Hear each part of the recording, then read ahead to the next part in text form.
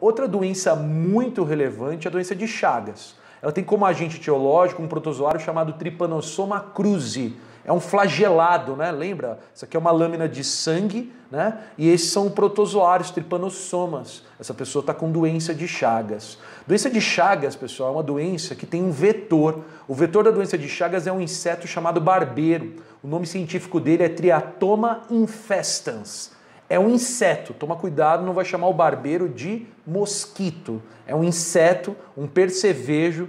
O barbeiro também é conhecido como chupança. Ele tem hábitos noturnos e hematófago. Durante o dia ele fica escondido, mas à noite ele sai para se alimentar e ele se alimenta de sangue.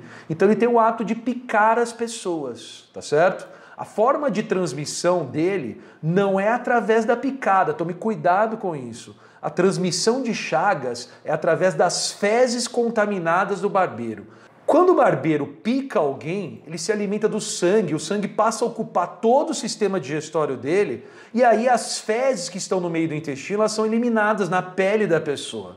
A pessoa, depois que o barbeiro vai embora, coça e o tripanossoma, que estava lá no meio das fezes, entra pela perfuração da picada. Então são as fezes contaminadas com tripanossoma que faz a pessoa adquirir a doença de Chagas.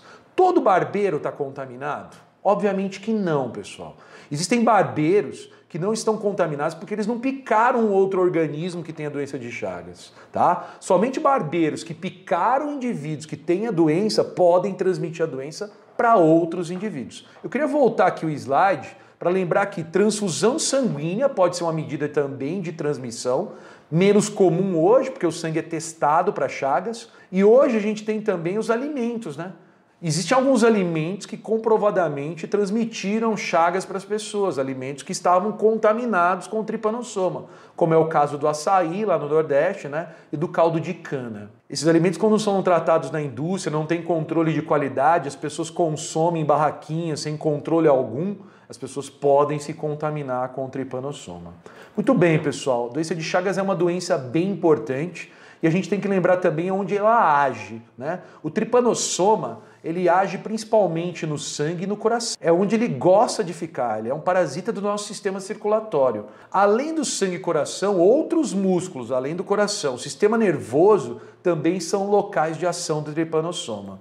E os sintomas? Sintomas envolvem insuficiência cardíaca, principalmente, respiratória. A pessoa que não trata chagas, né, infelizmente vem a óbito por conta de insuficiência cardíaca, tá? A cardiomegalia é um sintoma bem característico dessa doença. Aqui está um coração normal, né, de um indivíduo e aqui um coração chagásico, né? O coração de quem tem chagas é um coração bem maior do que o normal. Esse coração, apesar de ser maior, caber mais gente, ele não funciona muito bem, tá certo?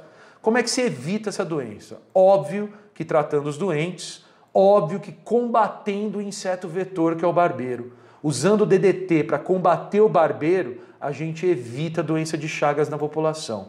Construção de casas de alvenaria, lembra que o barbeiro gosta de ficar em casas de pau a pique lá na região rural? Elas formam frestas né, no meio da parede de barro, o barbeiro fica ali durante o dia e sai para picar as pessoas à noite, substituindo casa de pau a pique por causa de alvenaria, essa é uma medida profilática. E óbvio, transfusões de sangue, né, tem que ser evitadas quando há contaminação e cuidados com os alimentos, o açaí, o caldo de cana. Uma solução para açaí é só pasteurização, né?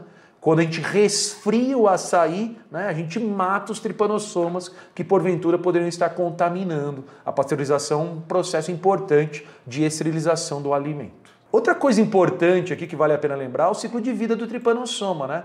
O tripanossoma ele tem dois hospedeiros, um que é o barbeiro e o outro que é o homem. O barbeiro é o hospedeiro intermediário, é onde o parasita não se reproduz. O homem é o hospedeiro definitivo, é onde o parasita, o tripanossoma, ele se reproduz de forma sexuada.